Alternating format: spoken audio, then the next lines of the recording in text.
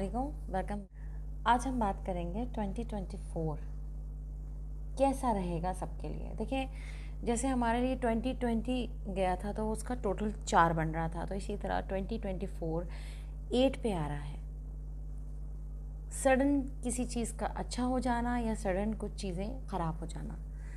जैसे कि उसमें वबाई बीमारी आई थी, फैली थी, कोविड, सबको पता है। इसी तरीके से अल्लाह ना करे, अल्लाह ना करे कि ऐसा हो, लेकिन कोई ना कोई वबा फैल सकती है, जो कि उसी तरह होगी।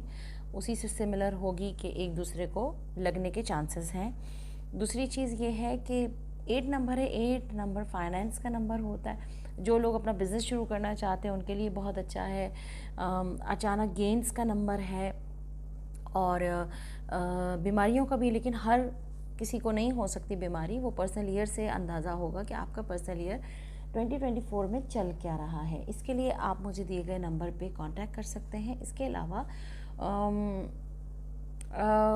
कुछ ऐसे हुक्मरान जो हैं वो उनके लिए प्रॉब्लम हो सकती है और कुछ ऐसे मुल्कों के हुक्मरान जो हैं वो ऐसे ऐसे पॉइंट होंगे अपने अहदों पर कि वो अपने मुल्क को बहुत तरक्की देंगे और उनका मुल्क आगे बढ़ेगा और वो बहुत पैसा कमाएँगे और उनके जो लोग होंगे वो भी बहुत ज़्यादा पैसा कमाएँगे और जैसे कि ट्रंप साहब हैं तो हो सकता है वो किसी न्यूज़ में नज़र आए किसी हवाले से, किसी भी हवाले से कोई प्रॉब्लम में या किसी बीमारी में या किसी ऐसे हवाले से वो नज़र आ सकते हैं।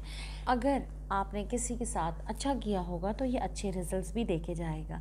तो ये कर्मा का साल होता है और एट नंबर जो है, वो कौन से पर्सनल ईयर जिसका आ रहा है, अगर वन पे जो लोग आ रहे हैं, टू पे आ रहे हैं, थ्री पे आ रहे हैं उनके लिए कैसा जाने वाला है तो आगे वाली वीडियो पे मैं आपको बताऊँगी और देखते रहें मेरे इस चैनल को। अपना ख्याल रखें। अल्लाह हाफिज़।